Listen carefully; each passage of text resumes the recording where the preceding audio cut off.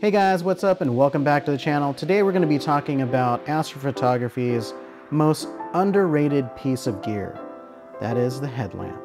Oh yeah, the headlamp. Now, I've been searching for the right headlamp ever since I started astrophotography.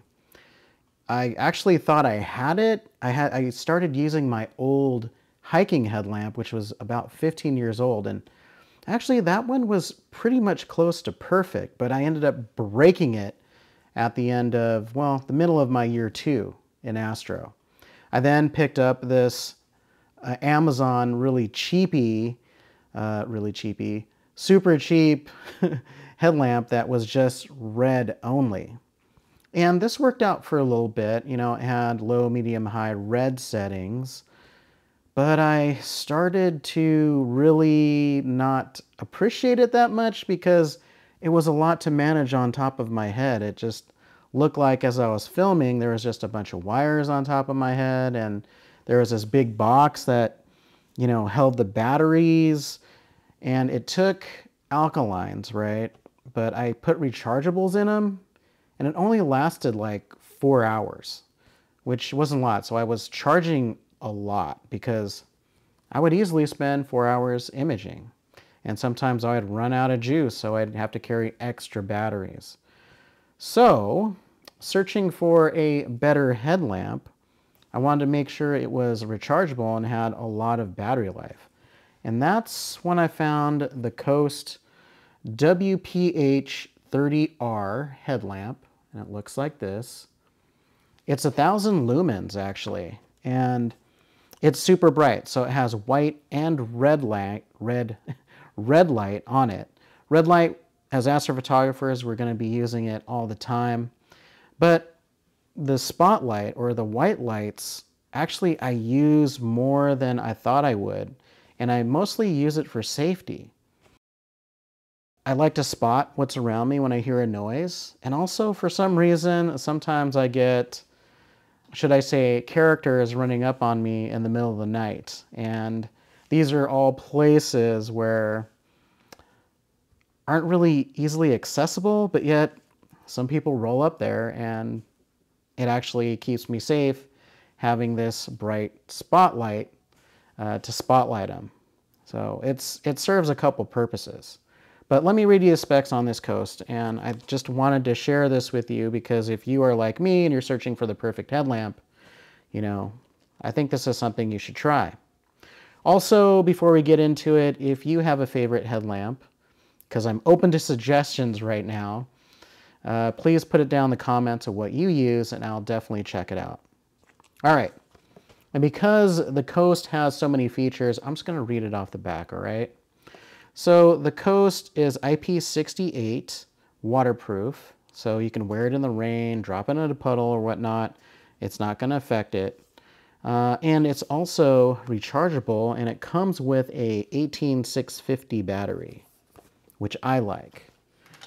And the way that it's situated in here is if you unscrew the top of it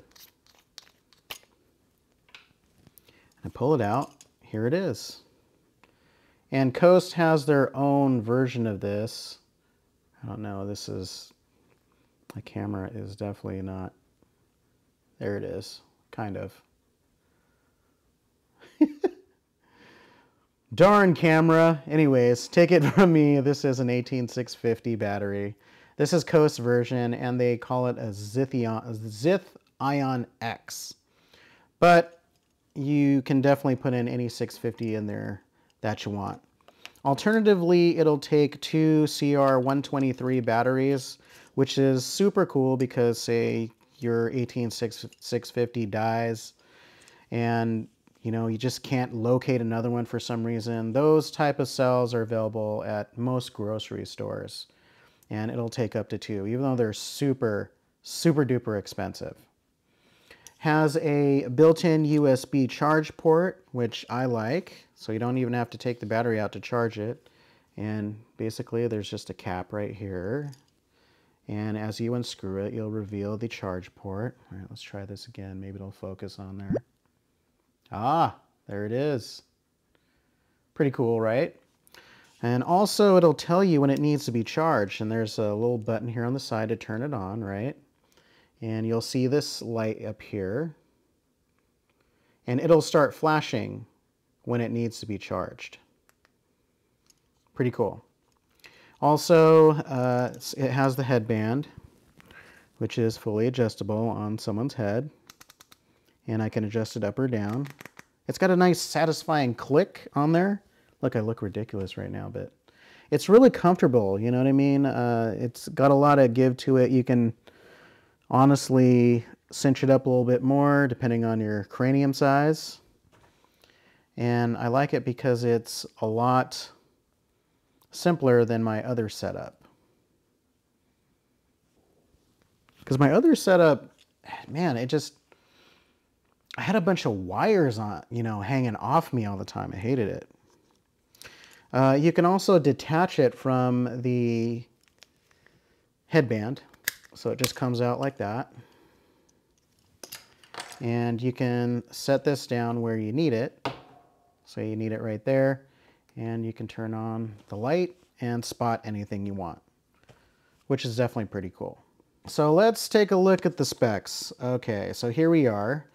It's got uh, three light, or actually four light modes. So you got a pure beam, which is the lowest setting. That one is 54 lumens.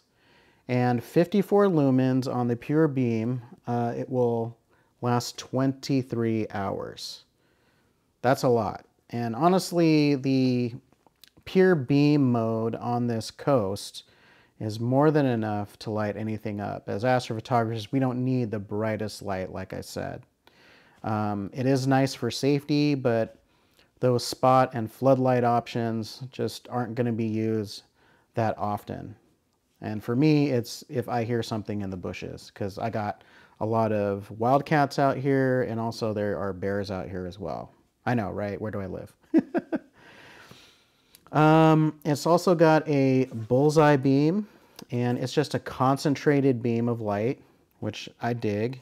And then it's got the spot and flood, which is the 1000 lumen mode. Oh, and the bullseye beam, it says here, is um, 600 lumens, which is pretty bright.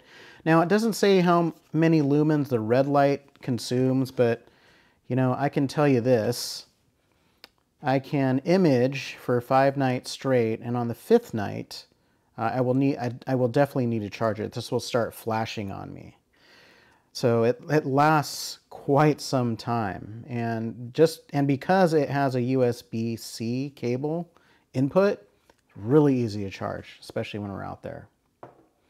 Also comes with this cable, and what I like about the cable is I can charge it, right? So it goes up like that. I uh, insert the charging cable here, and I can plug in either my phone to this end. Uh, it's just kind of a daisy chain cable, which is nice. So this isn't to tie up like if I only have one USB input, it's not going to tie up that one input because I have this neat little cable that allows me to plug something else into it which is super cool. Okay. Now I know what you're thinking. How easy is it to get to the red light mode? Well, it's pretty easy to tell you the truth. So if you double click it once, double click it once, doesn't make sense. If you double click the button, one, two, uh, the red light pops on and you can actually activate it at any time, right? Also, if you hold down the button, full, this is the full brightness, full 1000 lumens here. I'll aim it down real quick. Uh, if you hold it down, it just has a quick little turn on, which is great. And then you can cycle through your options too. So if I tap it once, uh, that's actually going to be the, what is it? Uh, spotlight beam, it looks like. And then I tap it again. And this is still the spotlight beam, sorry. Okay, this one here is your low setting, right? This is kind of the wide, um, I don't want to say wide field, like wide field astrophotography, but it's not. But it just has a wider beam. And as you see, this is it's pretty darn bright, right? And I dig it.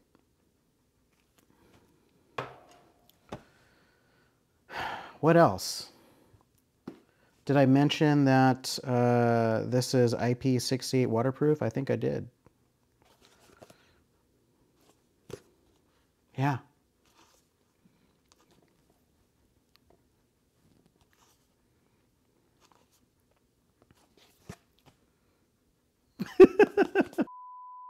Well, guys, that's the Coast WPH30R. It's about $50. I got mine on Amazon. Let me know in the comments if you liked this headlamp and if you're going to try it out. Or let me know if you're using something different. That way I can check out what you're using out there in the field and maybe it's something that I'll get for myself. Like I said, I'm always searching for the perfect headlamp and I just haven't yet found one. I like this one. This is as close to perfect I, for me I think that I can get, but uh, I am open to suggestions. Right, guys? Well, I guess I'll see you guys in the next one. Peace.